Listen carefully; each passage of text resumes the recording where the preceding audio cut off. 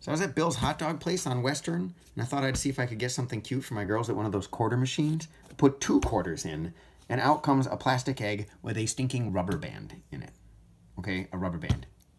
So it had a little piece of paper too, and it said, Magic rubber band, find lost card. Wrap your deck twice and snap your fingers. And uh, I just thought it's kind of a piece of junk. But at, at least I thought before throwing it away, I would test it out uh, and see if it was not a total waste of money. So here's a deck of cards. There's one card. We will test it with the Two of Hearts. And I don't know exactly what to do. I guess we lose the Two of Hearts back in the deck. Okay. So there's the Two of Hearts. All right. You can see it's going back right about there.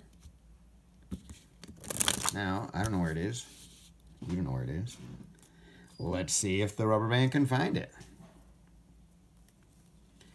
Let's see. It said wrap the deck twice in the rubber band. Right, so there's the deck wrapped twice. It said snap fingers. Okay, let's see. Whoa! okay, okay, that's something. Uh, I don't know, did it find the card? Is there a card in here somehow? It looks like the rubber band just disappeared. I don't know. Is it? Oh, what?